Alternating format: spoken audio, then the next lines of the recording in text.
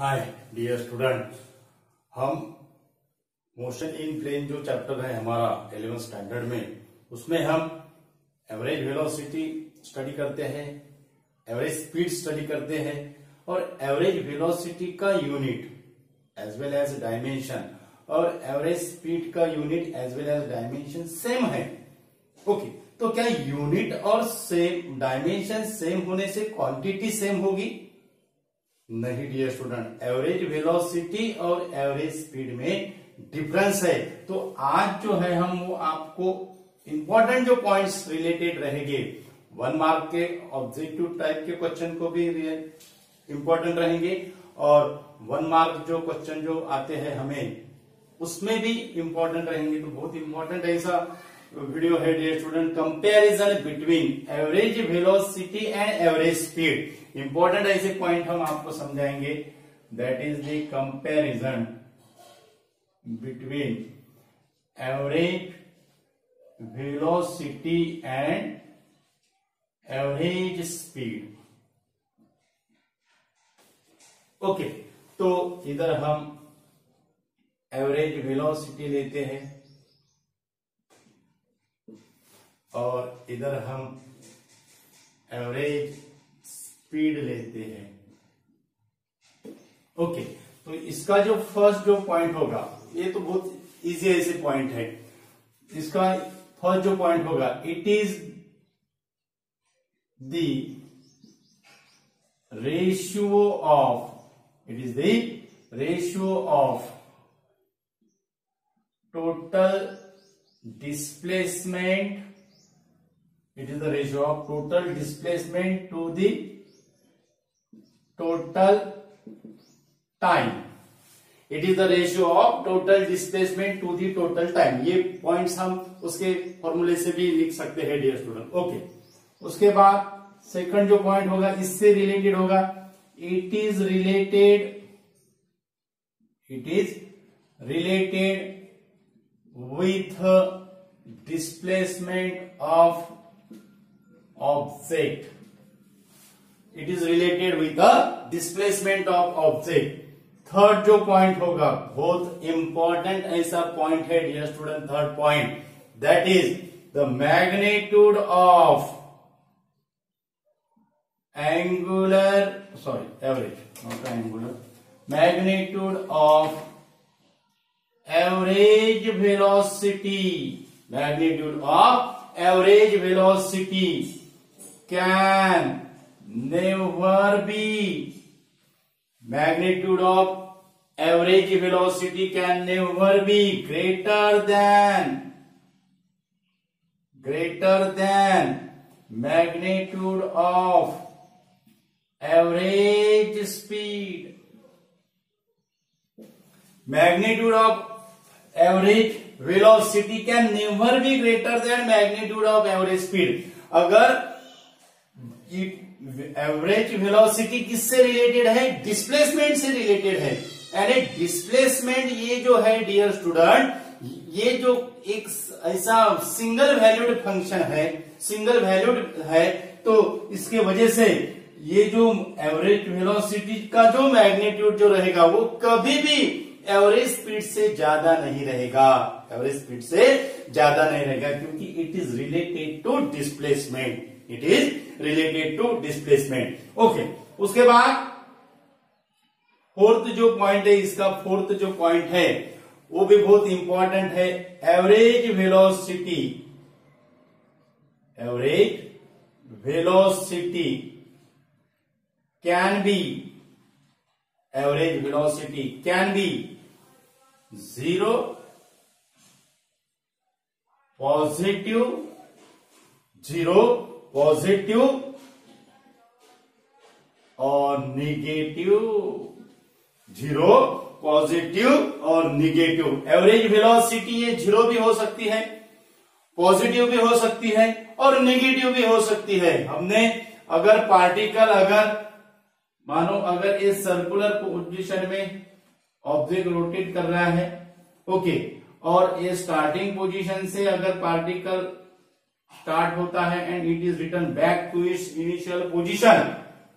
इसका जो डिस्प्लेसमेंट रहेगा, वो डिस्प्लेसमेंट क्या रहेगा? ज़ीरो रहेगा। डिस्प्लेसमेंट ज़ीरो है तो एवरेज वेलोसिटी क्या होगी? डियर स्टूडेंट ज़ीरो रहेगी। एवरेज वेलोसिटी क्या रहेगी? ज़ीरो रहेगी। ओके तो उसके बाद फिफ्थ जो पॉइंट है average velocity can be zero positive negative और फिफ्थ जो पॉइंट है fifth point average velocity it has it has a direction it has a direction same as that of same as that of displacement it has a direction same as that of displacement जो displacement की direction रहेगी dear student वही क्या रहेगी average velocity की direction रहेगी। Okay उसके बाद उसके बाद, अब ये हो गए फिफ्थ पॉइंट एवरेज वेलोसिटी के।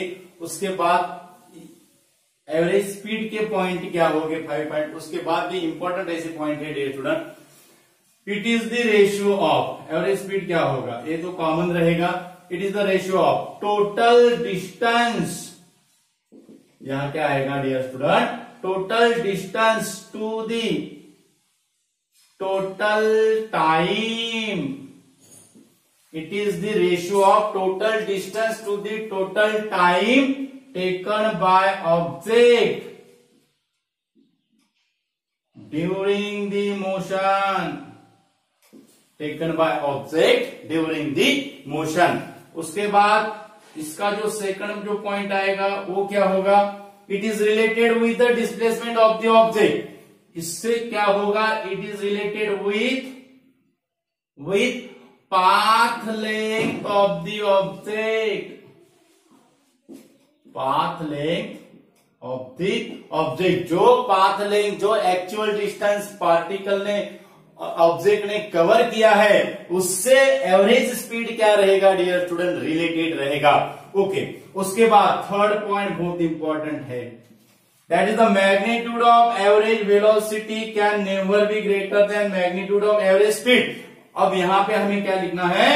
Magnitude of average speed magnitude of average speed is equal to is equal to और ग्रेटर देन और greater than average velocity is equal to और greater than average velocity fourth point क्या होगा? Fourth point average velocity can be zero positive negative average speed क्या होगा? बहुत important ऐसा point है. Average speed average speed never be negative ध्यान में रखना है dear student average speed never be negative but it is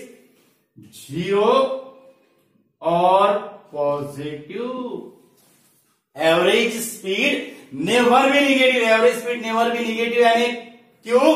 क्योंकि जो पाथ लेन जो रहेगी be negative distance actual distance travels by the particle always positive और it is zero but it can not be never be negative so average speed जो है can not never be negative उसके बाद fifth जो point है fifth point fifth point क्या आएगा? It has a direction same as that of the displacement और average speed को डायरेक्शन ही रहेगी. It has no direction it has no direction it has no direction okay अब उसके बाद का सिक्स पॉइंट क्या होगा? वो भी बहुत इधर की पॉइंट बहुत इंपॉर्टेंट ऐसे पॉइंट है डियर स्टूडेंट सिक्स पॉइंट क्या होगा? सिक्स पॉइंट उसका सिक्स पॉइंट क्या होगा? सिक्स पॉइंट उसका सिक्स पॉइंट क्या होगा? एवरेज वेलोसिटी का six point it is vector quantity direction है, इसलिए ये वेक्टर क्वांटिटी है। It is a vector quantity और सिक्स पॉइंट इधर क्या होगा? It is scalar quantity it is a scalar quantity अब उसके बाद सेवन पॉइंट क्या होगा? ये बहुत इंपॉर्टेंट पॉइंट है dear student average velocity it is single value it is single values average velocity possess the single value अब क्यों? क्यों average velocity possess the single value क्योंकि डिस्प्लेसमेंट जो होता है ऑब्जेक्ट का वो displacement it is only depends upon the initial and final position of the object initial and final position of the object it is not depends upon the nature of the motion of the object वो कैसा गया, क्या गया, उसको कोई फ़र्क नहीं गिरता अगर पाथ, ऐसा पाथ है, ओके तो ऐसा पाथ है तो यहाँ से अगर हमें डिस्प्लेसमेंट अगर क्या करना है? कैलकुलेट अगर करना है तो ये पाथ में उसको कोई लेना देना नहीं। वो कर पाथ से जा रहा है या स्ट्रेट पाथ से जा रहा है, ये डिस्प्लेसमेंट को कुछ लेना देना नहीं है। वो क्या देखेगा? सिर्फ़ उसकी इनिशियल पोजीशन कहा है और यहाँ पे फाइनल पोजीशन कहा है? सिर्फ़ यही वो देखेगा। क्या देखेगा? It is depends upon the initial and final position लेकिन जो हमारा एवरेज स्पीड जो रहेगा वो average speed it has possess the many values it is not possess the single value. It has possess the many values because it is depends upon the path. It is depends upon the path और path length के actual distance के number of values हो सकते हैं dear student so इसी के वजह से average velocity it is a single valued और सेवन जो पॉइंट आएगा सेवन पॉइंट सेवन पॉइंट जो आएगा, वो सेवन पॉइंट, वो सेवन पॉइंट। एवरेज स्पीड में क्या होगा? It has it has many values it has many values okay तो उसका एक जो पॉइंट है, आप एवरेज वेलोसिटी का फॉर्मूला भी लिख सकते हो एवरेज स्पीड का भी फॉर्मूला लिख सकते हो डियर स्टूडेंट तो इंपॉर्टेंट ऐसा वीडियो है डियर स्टूडेंट इसमें ऑब्जेक्टिव टाइप के क्वेश्चन भी आपके कवर हो जाएँगे। वन मार्क क्वेश्चन जो आते हैं, वो भी कवर हो जाएँगे।